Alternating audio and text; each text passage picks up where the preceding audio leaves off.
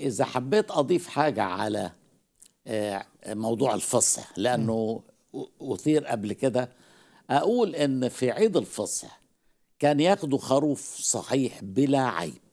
لو كان في عيب ما كانش ينفع يتذبح يتأكدوا تماما إنه بدون عيب فكان آه، آه، يقدم ويرش الدم على قائمتين والعتبة العليا. عايز أقول إيه؟ عايز أقول إن بيلاطس حاول يشتغل دبلوماسي. وقال هقول عليه إنه مذنب يستحق الصلب وطلعه براءة عشان الضمير بتاعي. قالوا له لا ما ينفعش. إحنا لازم ما يكفيناش غير إنه يتصلب. فحكم عليه بالبراءة أو بالبر قال إني بريء من دم هذا البار. ثم صلبه. ده بالظبط الفصح. لو كان في عيب ما كانش ينفع يكون فصح. لكن لما بيلاطس شهد وهيرودس شهد حتى الخاين يهوذا شهد. ومرات بيلاطس قالت إياك وذلك البار. والكل قائد المئة الكل شهدوا أنه بار ومع ذلك صلب.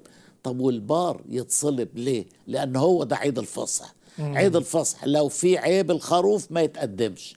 لأنه ما فيهوش عيب يتقدم علشان يفدي البكر.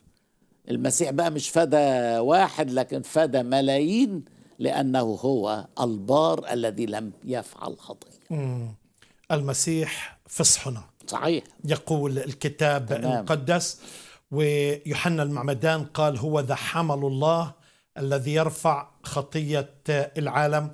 ولما بتفوت في التقاليد اليهودية وفي التعليم يعني لما كانوا بيجهزوا الفصح قبل الذبح عملية شاقة جدا من غسيل ومن فحوصات و و و إلى آخره للحفظ حتى يتأكدوا مية في المية مليون في المية إنه ولا شائبة ولا عيب ولا أعور. ولا أعرج ولا مجروح ولا أي شيء. فطبعا يعني نحن بنتكلم في عادات وخلفيات الشعب المعاصر ليسوع المسيح كان بيدرك أهمية هذا الموضوع. العجيب يا سيس نزار إنه جالهم اللي ما فيهوش ولا عيبة. ولا حد منهم عرف يطلع في إيه. عنوان علته اللي اتحطت على الصليب هو إيه؟ هذا هو يسوع الناصري ملك الإله. طب فين العلة؟ أين العلة؟